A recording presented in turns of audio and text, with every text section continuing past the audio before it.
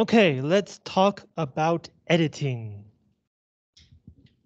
So you have planned out your movie. You have shot all of the scenes. Now you need to think about how to put the scenes together.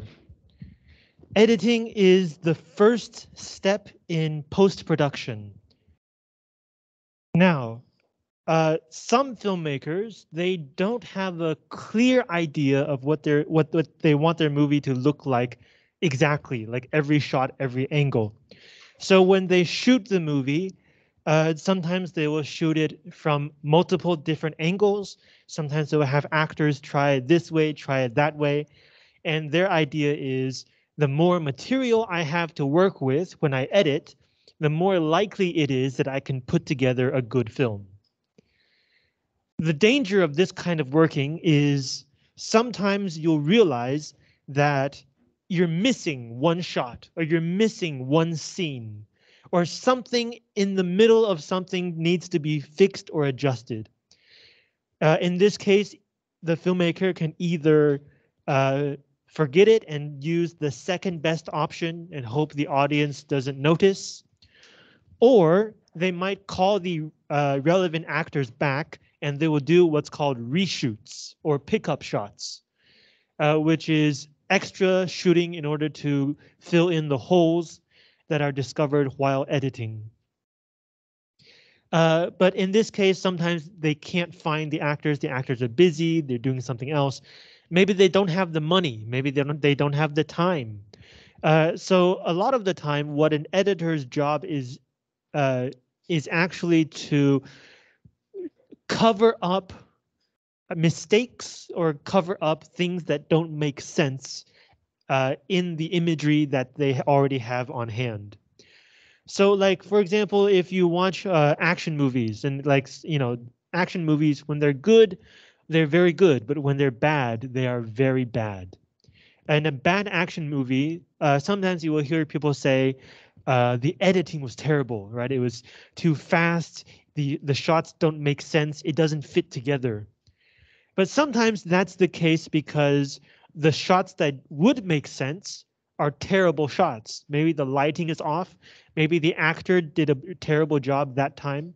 So the editor doesn't have a choice. They can only use uh, either a bad shot or they put the scene together in a way that doesn't make sense but a good filmmaker, when they begin making the movie, will have a clear idea of what they want the movie to look like. Uh, sometimes they will even draw out each scene on the page to make what's called a storyboard. Uh, so that when they actually shoot the movie, they know what each shot is supposed to look like. They know the angle, they know the sequence, and the actors are also clear about uh, what's going on in this scene, how does it fit into the general story. In that case, editing can be uh, actually quite fast. Uh, and so if it's this kind of good situation, then the editor only needs to focus on, for example, how long should each scene be? How fast should uh, the the film switch to a different shot? Uh, today, most Hollywood movies, the length of each shot is around two seconds. That's already considered uh, a little bit long.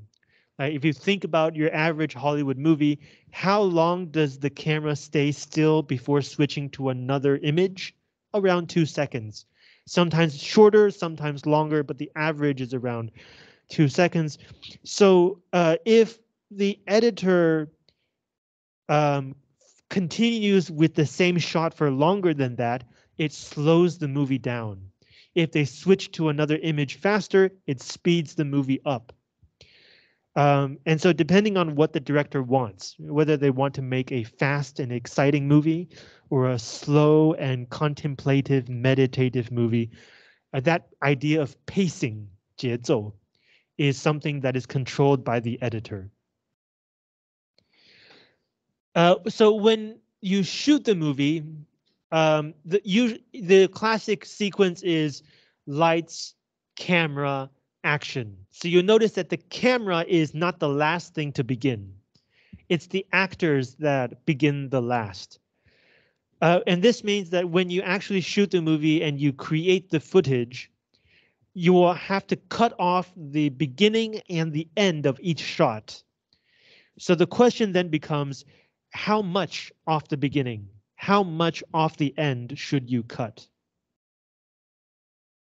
Uh, well, obviously you you need to cut somewhere where the actors have already started acting. You don't want to include footage before the actors begin or after the actors have finished the scene. So when you shoot a movie, uh, we saw in Day for Night they have a clapboard, right? 拍板. What is that for? On the clapboard, you have key information, the name of the movie, which scene are they doing, and which take, which means how many times have they shot this part. Um, this is to help the editor know, okay, this sequence is uh, fits into this place in the movie, and this is the third time, this is the fourth time. It helps to uh, prevent the editor from mixing together uh, footage from different takes. It helps to organize the original footage. And then when they begin, they clap the board, right? 会拍. That is to help synchronize sound. We know that in a movie, the sound does not have to match the image. Sometimes uh, you will have someone who is not on screen who is talking. You might have sounds from a flashback. The sound doesn't have to fit the image. So uh, when the sound does fit the image, the editor has to match the image and sound exactly. That's why they have a clapboard. It's the exact moment when that sound comes from that image. So they align the sound and the image according to that moment, and then they can begin choosing which parts to take and which parts to leave out. So that brings us to the sound editing also.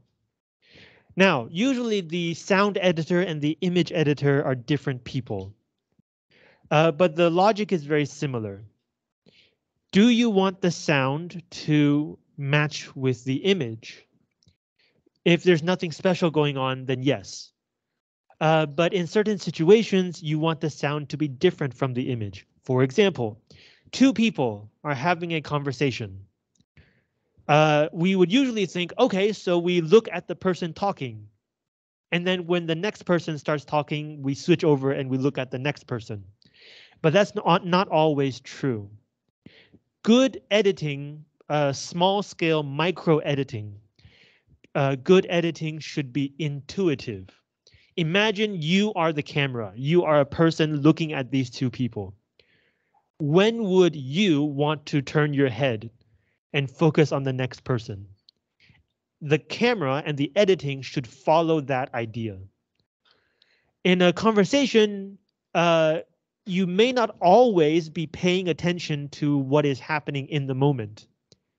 Maybe you're talking to somebody and they just said something that is surprising and you need time to understand what uh, they just said.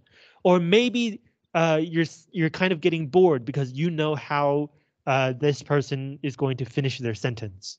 So your attention in a conversation may switch faster than or slower than the alternation of people talking. So good editing will follow that rhythm. So sometimes you will watch a movie and there's two people talking, uh, but the camera will sometimes focus on the person who is listening. And that's why, because uh, in that moment, the person who is talking is not as important as the person who is listening. Maybe the person who is talking, what they're saying is predictable or it's irrelevant, um, or maybe the point of the person saying those things is the effect it would have on the listener. So in these small situations also, editing follows attention. Uh, this is known as subjective editing, 主观的剪接. Uh, this also is important for action sequences. If you like you have a, a fight scene, how do you want to uh, arrange the shots of the entire scene and smaller shots of like an individual punch or an individual flip? How do you move from the general to the specific, to the general, to the specific.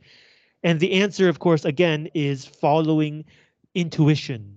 Which part of this sequence is the most interesting? Which part is uh, the part that the audience would probably want to focus on? Those parts, uh, you need to give a close-up, bigger shot, a closer shot of those details. So a good example here is the Bourne Identity, the one starring Matt Damon. Uh, the director, Paul Greengrass, is very good at uh, focusing on the details of a fight. So if you watch uh, Matt Damon fight in that movie, like the camera will begin with a shot of the two people fighting, but in the middle of the fight, every single shot is following the key part. If Matt Damon throws a punch, the camera is following his hand. If his enemy like kicks him back, the camera is following the enemy's foot. It's all very carefully and specifically edited uh, so that uh, it may look fast, it may look exciting, but you are always sure of what is going on. You're never confused. This is something that me, uh, I would say most action movies fail to do. Uh, most people learn the wrong lesson from that kind of editing. Most people think, oh, if you want to make it exciting, shake the camera around. My God, no. Just shaking the camera for no reason just uh, gives people a headache. Uh, be because people saw uh, that movie's fast editing, but they didn't notice that each shot, each cut from image to image had a purpose. Um, yeah, so that's micro editing, uh, following intuition. Then you have uh, macro editing, larger scale editing. How do you get from one scene to the next scene? Uh, when does this scene end? Or when should this scene end? And when should the next scene begin? Uh, sometimes you will see movies that as soon as the actor says the last line, immediately the image shifts to the next scene. Uh, if this is a good choice, then it's usually because the last line is not very important. But if the last line is important and the audience and like the other characters need some time to digest or comprehend this last line, it makes more sense to stay with this scene for like uh, one second or half a second longer and then switch to the next scene. A similar idea, when you get to the next scene, you have to let the audience settle into the scene. You can't just um, let the scene begin and then start throwing information at the audience. You have to let them get used to the fact that we are now in a new scene. So often new scenes will begin with a wide shot or an exterior shot. Uh, this is called an establishing shot. It establishes where we are, the location, the setting, time and place. And then you have a medium shot of like who is in this scene, everybody in the same picture. And then when the actors begin acting, then you can go closer and focus on individual people. You want to uh, ease the audience into the new situation. That's the image. Uh, sound editing, macro editing follows a similar logic have you ever seen a movie and like at the start of a new scene there's like a thump or a, a, loud sound and it scares you but it's not supposed to be a scary scene. That's bad sound editing. The, the audience is not ready for that sound. So uh, the audience is easily scared but you don't want them to be scared. So that's not what you were trying to do. Sometimes you do want to scare the audience and that's good. Uh, but if you if the next scene begins with a loud noise, uh, you need to use sound also to ease the audience in. For example, uh, sometimes when you watch a Hollywood movie, uh, the the first scene is the character says, "We need to go somewhere, uh, take a plane to go somewhere." So the next scene shows you an airplane, or like they're at the airport, or like the plane is flying through the sky. Airplanes are loud. So if you move from a quiet conversation and then suddenly, boom, airplane sounds, it could scare the audience. So often what a movie will do is they will, the image, you can't really like uh, slowly shift the image, right? The image goes from conversation to airplane, but you can slowly shift the sound. You can, after the conversation ends, this scene is silent, but you can slowly add in the airplane sound from quiet to loud. It's like you're, you're slightly turning up the volume on the airplane. Uh, some people would do this after they change to the new image. Sometimes people would do this before they change to the new image.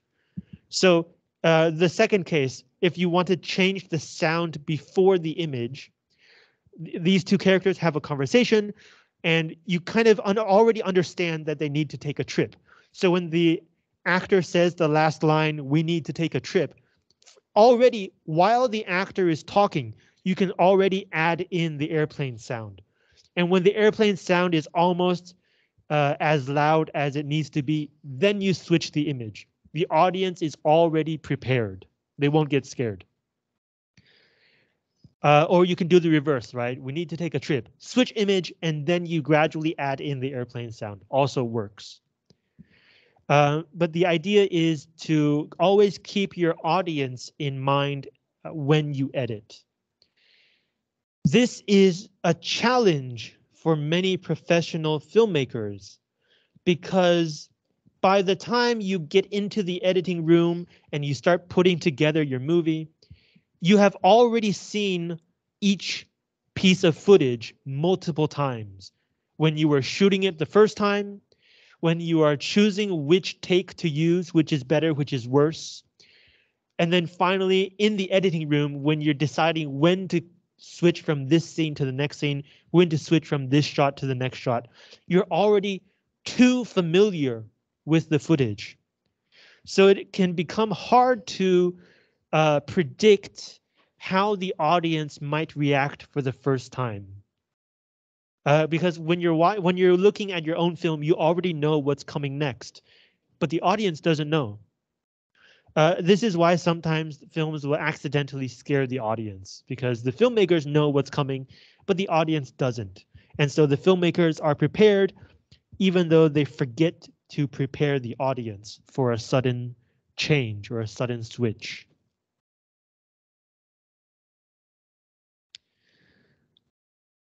Um, now, I keep talking about the editor because the editor is the person who actually cuts the footage and puts them together on a specific point or for a specific scene.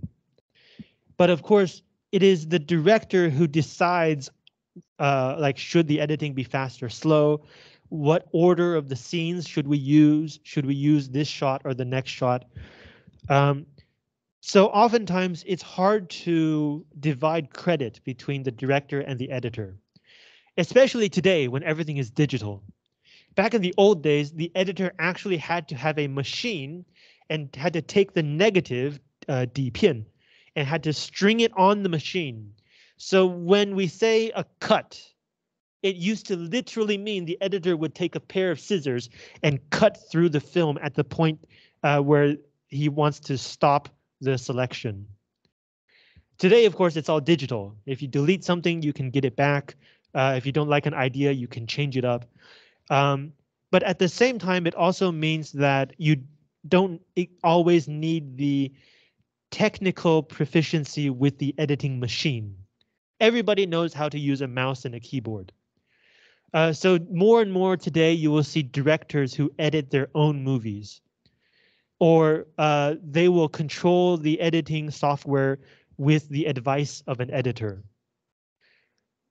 Sometimes you will also see like um, important actors helping with the edit, uh, especially like if the director or the editor wants to know uh, what were you feeling in this scene? Does it fit what you were feeling in the next scene? They might ask the actor to come in.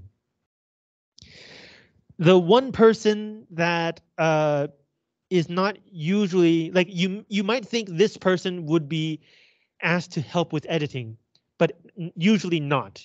This person is the writer. Might be kind of surprising because they wrote the movie they wrote the screenplay. Uh, but directors uh, often will not ask the writer to join in the editing. And this is because the script gets changed day by day when you're making a movie. Uh, on the set or on the location, thing there will be surprises, there will be accidents. Uh, maybe the actors will feel like this is not the right way to do this scene.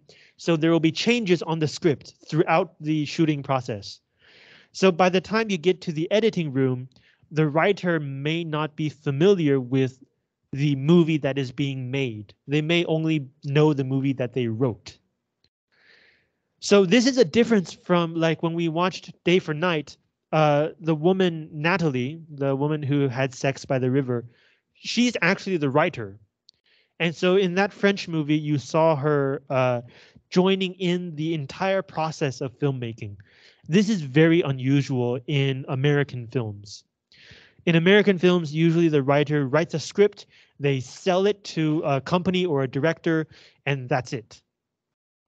Uh, they, they make money by selling their writing, not by making their writing. Uh, okay, so that's editing.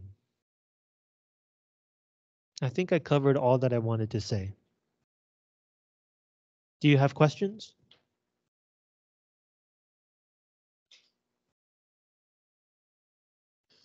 Okay, today we're watching a um, type of movie that like the I call this type of movie a subgenre movie or a subculture movie. Uh, but there, this is not actually an official term, subculture movie. I, I'm combining many different kinds of types. So sometimes like you'll have gay movies, you'll have black uh, black movies, which are called blaxploitation. Uh, you'll have like uh, movies about different kinds of people in society. What uh, what unifies these different kinds of movies? The reason I can put them all together is that this kind of movie focuses on a part of society that not everybody is familiar with or not everybody has the chance to become familiar with. Now, in a sense, uh, every movie has its own world. Every story has its own world. And so uh, each story has some specific parts that are unfamiliar to us uh, unless we made the film, right? Every person's idea of life is different. Every person's experience of life is different. What a subculture film does is uh, it brings out a part of culture or a part of society that is not just different in the details, but also different in the way that the characters understand life and life experience. So like a, a gay movie uh, featuring characters who are gay will often deal with experiences that uh, straight people may not have even heard of or have may not have thought of. Or today, in this case, a movie about uh, black people playing basketball, they have to deal with things that I'm pretty sure most of you uh, have not thought of before, related to the fact that they are black in the in the United States and related to the fact that they are playing basketball, which is a sport in the US that is dominated by black people, even though management is mostly white people. Um, so when we watch a movie about a subculture, the thing to keep in mind or to the thing to ask ourselves is, is this movie made for the people in that subculture? Or is it made for people outside of that subculture? In other words, is it trying to explain the subculture to everybody else? Or is it bringing out an authentic experience of somebody within this subculture? Uh, this is commonly known as it is the movie for us, is the movie for you. Who is the targeted audience of this film? like just like when we write an essay, you want to have in mind your reader. Does your reader understand the background of this situation? How much do you need to explain to the reader? Same with movies. does your audience already understand this world? How much do you have to explain to your audience? Uh, like if you make a movie about like a group of kids who love playing with computers and electronics and things like that, and there's lots of technical information, then you may have to explain a bit more. But if you make a movie about college students for this class, you don't need to explain much because, well, you're all college students. So uh, presumably you all share most of the same college experiences. So again, uh, what kind of people are you making the movie for? How much do you have to explain? The more you explain, the less natural the movie will feel. Uh, because like if you think about it, a movie, the story of a movie is a group of people who already exist in that world going about their life. They don't need to explain to each other what's going on because they already live in that world. So if you have to pause and explain something to the audience, maybe you write some dialogue for the characters uh, that shed light on what kind of world this is the more explanation you do, the less realistic it becomes. It becomes more and more obvious that you are explaining things to the audience instead of telling a story about the people. So like every movie needs exposition. Every movie needs to explain things. The key here becomes how do you work out a situation where the actors have to or the characters have to talk about this thing that they already understand? And then how much can you trust the audience to figure out on their own and you don't have to explain every single thing. You have to try to find to uh, find a balance between explaining nothing and explaining everything. Uh, again, depending on your subject matter and your audience. So today the movie we're watching is called High Flying Bird, directed by Steven Soderbergh. Soderbergh is most famous for Ocean's 11, 瞒天过海. Uh, so you know that this is the director who has a clear idea of what kind of movie he wants to make. And he his movies are often fast. They move quickly from scene to scene, from point to point.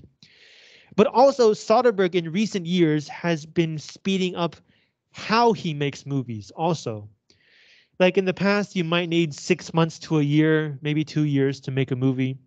Now Soderbergh uses three months to make a movie. He's moving faster and faster. And the reason he's so fast is because he's using the latest technology. Uh, so like when you think about technology uh, in filmmaking, you might think of like, oh, big special effects or like uh, big uh, loud fight sequences or something like that, explosions. Soderbergh uses technology that helps him make films easier. The PDF I provided for this week is a discussion about how he used an iPhone to make this movie and how much time it saved him. Another thing that he does to speed up filmmaking is because he knows uh, exactly how he wants his movie to look, after finishing work during the day, he takes that footage and he edits it on his way home so that by the time he gets home, he's basically finished editing that day's footage. So he doesn't have to spend another six months in the editing room because he edits while he shoots. Uh, traditionally, it, this has been impossible before digital. Um, but even before digital, you had directors who did what we call edit in your head, which means when they're shooting the movie, they can tell, oh, this is a bad shot, this is a bad sequence, or they can tell, oh, this would fit in that part of the film, this would fit in that part of the film.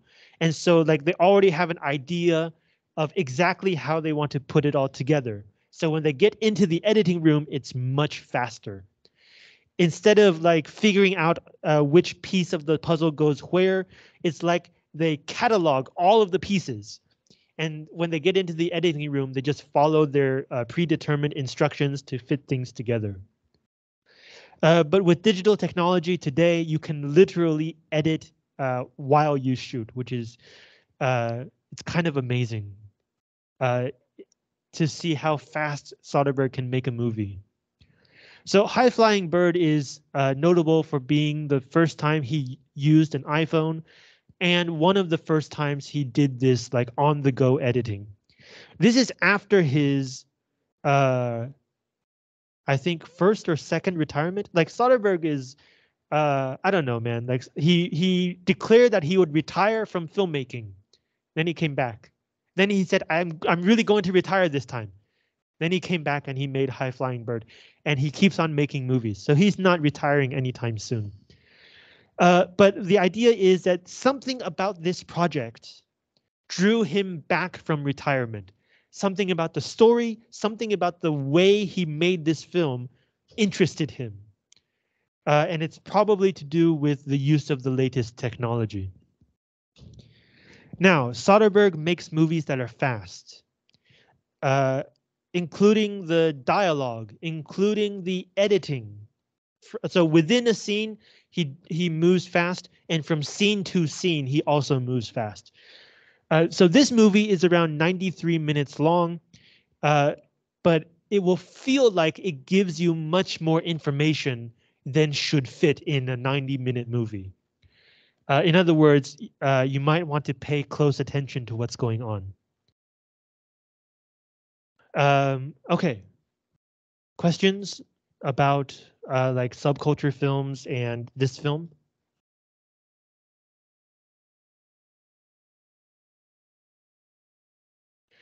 Editing is an art. It's a very subjective art. Uh, so there's not too much I can say to explain everything very clearly. Uh, let's take a 10 minute break, come back at 12.30. Yeah.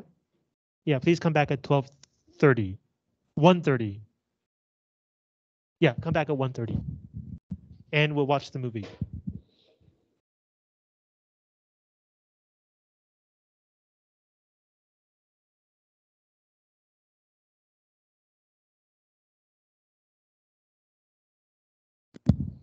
Okay, uh, that was the movie.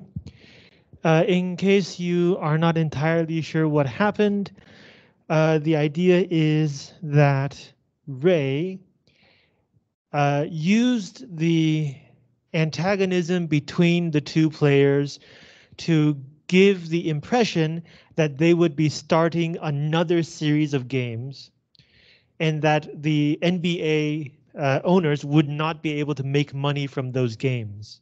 That gave pressure to the team owners to negotiate with the television networks faster.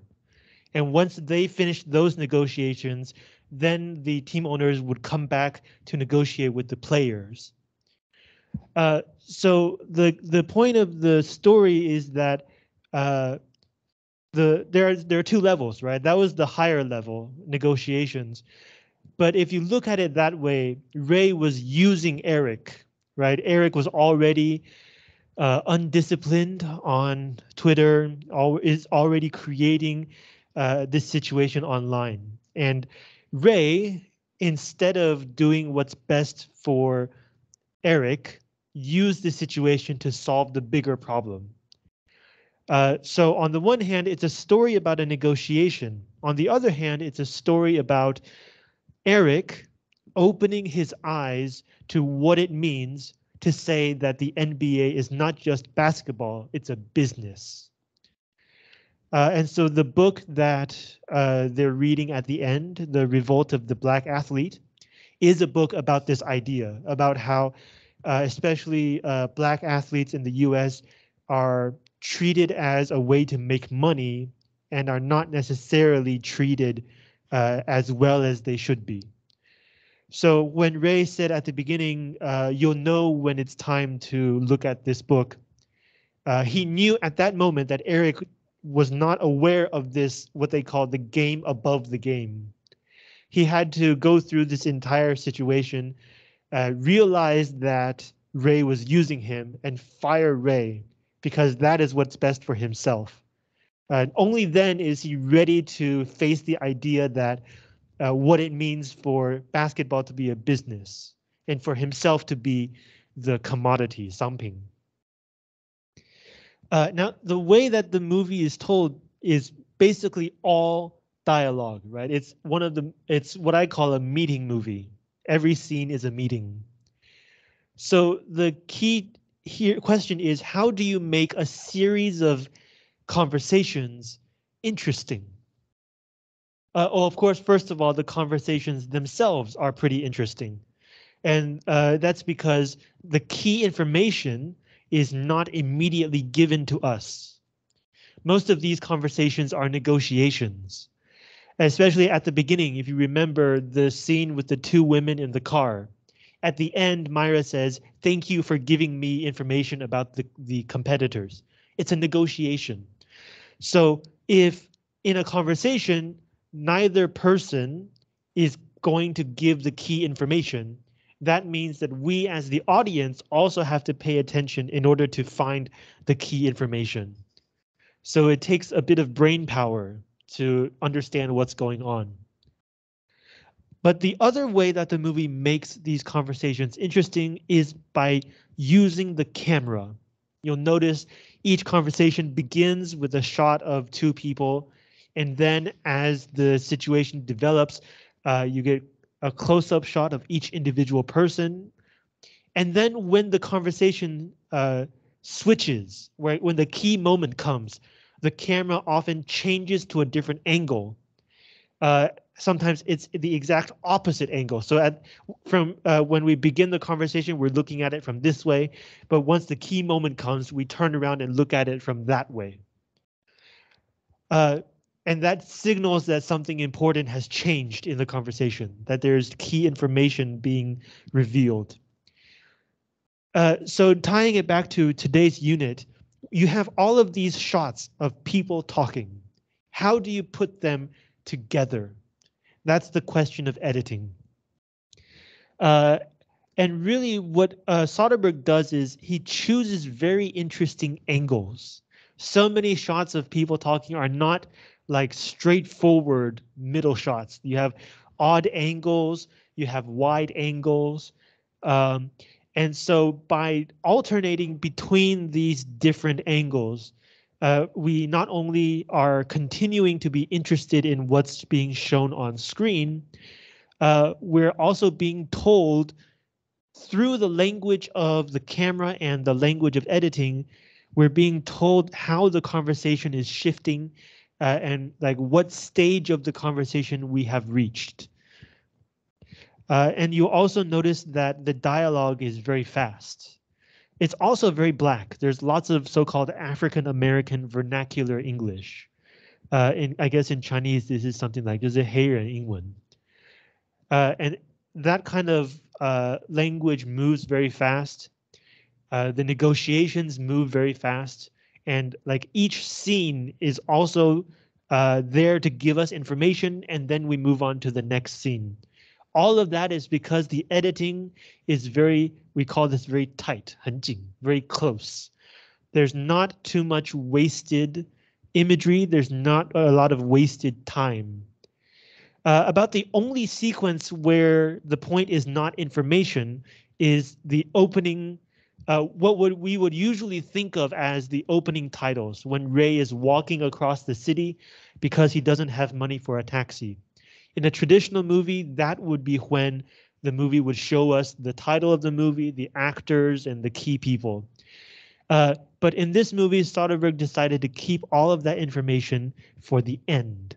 Instead, that opening sequence gives us a view of the city, and it gives us a sense of location. A sense of location becomes important when we get to Spencer's basketball court and the talk about charity and community, because community is based in location. So by following Ray across the city, uh, the film is putting us in his community. We're not looking at this from the outside. We're in the negotiations with Ray. We're on Ray's side. So this subculture film, it is about a subculture that I'm sure few of us uh, would think about uh, in our daily lives, right? Uh, black players in the NBA having to deal with uh, a culture where white people are in control. But uh, we all understand the idea of a sense of community. And so when we're placed with Ray on the same side, we're more open to trying to learn about what's going on. It's not just studying a community. It's like we're being put in this community and we're trying to figure out uh, like how people feel and what uh, what people want to achieve, uh, just like Ray is doing in order to find his way through uh, this negotiation. So like editing is a key part of this movie in like keeping things moving fast, uh, preventing us from getting bored by all of the conversation. There's also uh, one very early shot that I love so much. This uh, it's an edit, it's a cut. If you remember at the end of the first restaurant conversation, right? Ray and Eric stand up and they leave. The camera goes up. And then we cut to the outdoor sky and then the camera comes back down. Uh, we mentioned an idea when we're when we were watching Twilight called the match cut. The idea is when you shift one from one scene to the next scene, you use images from these two scenes that are very similar. In Twilight, it was uh, the first scene was Edward is jumping down from a cliff, and the second scene is he lands on the pickup truck. So both scenes are put together using a jump, a character jumps. But in that match cut, the similarity between uh, the end of the restaurant scene and the beginning of the outdoor scene is simply the sky. In other words, this is a kind of match cut that uh, Soderbergh could have used anywhere. It's not dependent on what's happening in the scene. Every scene you can point the camera upwards Uh, I just thought that was that was fantastic. Um, it's a it's a 可以说是万用剪接 genius. Uh, now, speaking of editing, however, this movie also has uh, interviews with previous uh, Rookie of the Year uh, first pick basketball players from real life. Those were not characters, those were real basketball players. And the idea there, for the general idea is to give us a another aspect of this world. Most of us do not have not played in the NBA. So hearing from these actual players talk about what it's like their first year uh, puts us on the side of Eric so that we kind of understand what he's going through as well. But in terms of filmmaking, uh, these interview sequences are also very interesting because they often help to bridge the gap between two scenes that are far apart.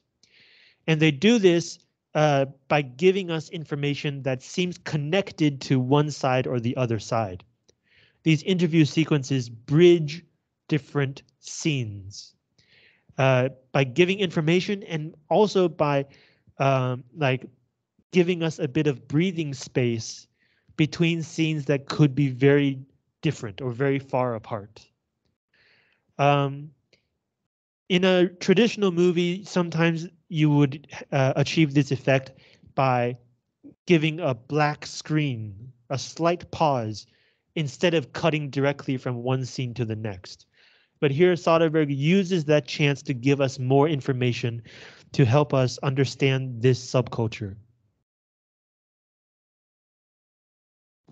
Yeah, okay, so do you have questions about this film?